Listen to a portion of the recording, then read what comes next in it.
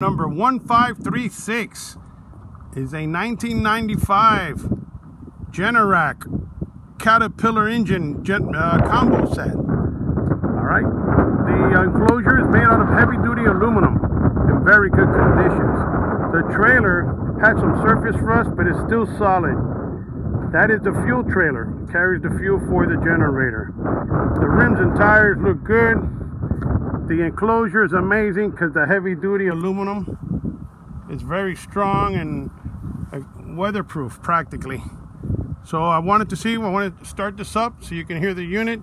It's got the heavy four prong cable going around the unit, one complete time around and a little bit more. I would say like 20 feet maybe, maybe more. All right, so this unit has 3,100, 3,614 hours. So the button, as you can see, is in the down position. I tried to move it to one or two or three. It doesn't move. It's stuck on two. So let me start this unit up.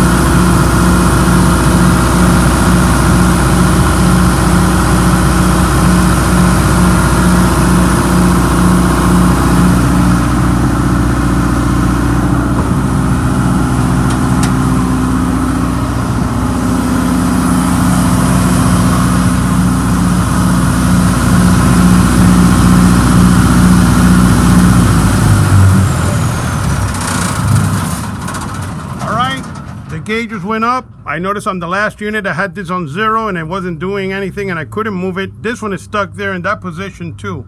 I think there's a presetting where it gets stuck wherever you're gonna keep it permanently so you can have the right phase, I believe. All right, but the motor sounds great. I can vouch for that. The needles went up and the volts and the hertz, so I believe it's charging, but that's all I can do is believe. All right, so good luck. This is it.